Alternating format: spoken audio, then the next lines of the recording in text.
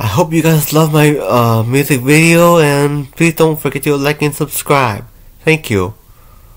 Until next time.